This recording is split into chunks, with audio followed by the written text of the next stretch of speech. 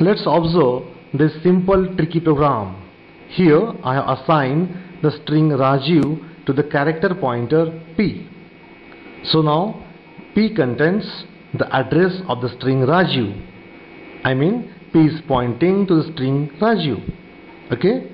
Now if you compare this P with the string Raju then it is expected that if part of the if statement will be executed. This means expected result should be displayed at DOS prompt. Let us test it. Execute the if part and observe it very carefully. Let us press F7 key. What happened?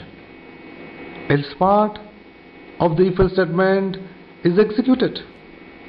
And see the DOS prompt? What is wrong is displayed. Don't you think that it's an interesting result. Now I'll show you one more interesting output from this program. Press alt O.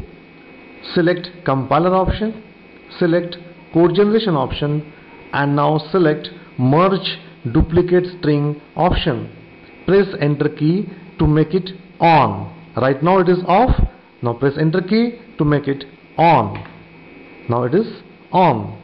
Okay. Now press escape key again press escape key.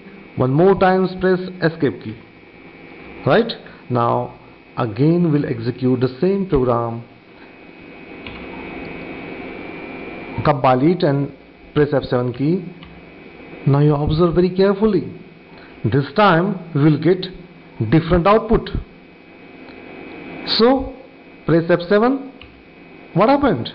Control is inside the if part of if else statement and what is the output? Expected result is the output. This means this time p is equal to the string raju while in previous one p was not equal to raju. Why it is so? Can you analyze the program? I'll explain this concept in next session. Thank you